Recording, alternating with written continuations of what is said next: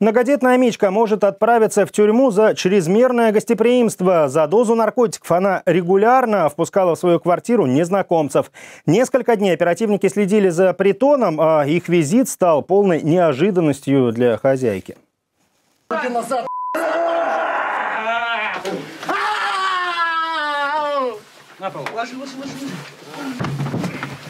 сотрудник. Я лично показал удостоверение. Что ты начинаешь себе проблемы искать, дружище? Почти каждый, кто находился в квартире, наркоманы со стажем и имеют судимости. Здесь, кроме того, не только употребляли, но и изготовляли запрещенные вещества. Хозяйка а, отправляла троих детей к родственникам, чтобы они не мешали визитерам. К слову, самому младшему из ребят не исполнилось и двух лет. Теперь гостеприимная мама может надолго расстаться с детьми.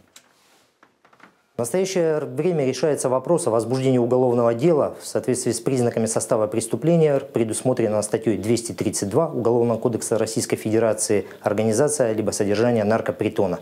Действующим законодательством предусмотрена уголовная ответственность за данное деяние в виде лишения свободы сроком до 7 лет.